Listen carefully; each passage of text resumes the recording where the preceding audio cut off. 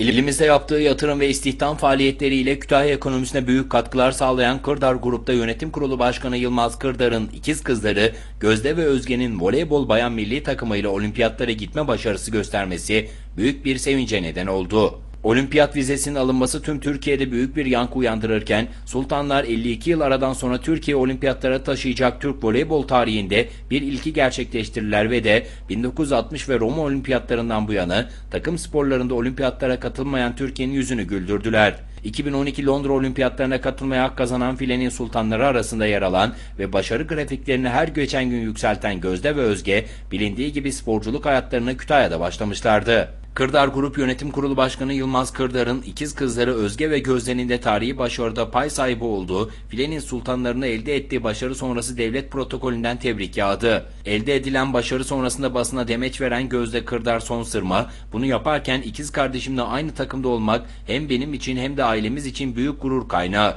Bence şu an dünyadaki en şanslı insanlarız. Şimdi bizi yeni hedefler bekliyor. Olimpiyatta inşallah çok daha iyisini yapacağız diye konuştu.